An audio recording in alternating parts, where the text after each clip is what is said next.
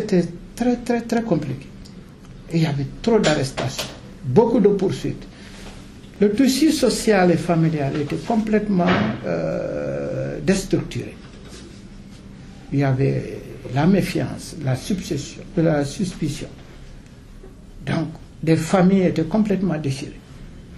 Parce que la situation et le conflit était tellement vieux que, voilà, les familles, certaines personnes étaient beaucoup plus euh, attachées à la rébellion. C'était des sympathisants, même s'ils ne sont pas partis dans le maquis.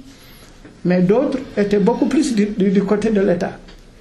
On se trouve dans des familles où deux fils, deux frères, l'un est dans le maquis, l'autre est dans l'armée sénégalaise.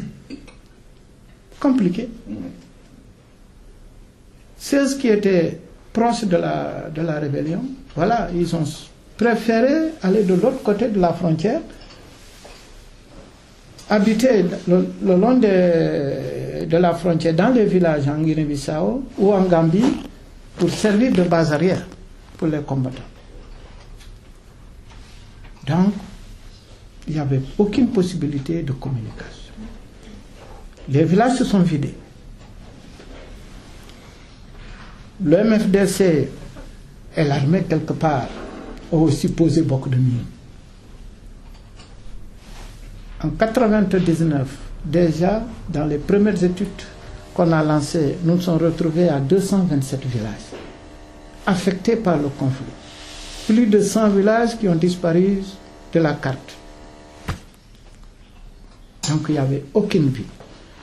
Et notre organisation étant euh, impliquée dans le développement dans ces localités, ben, on n'avait pas le choix. Soit de regarder pourrir la situation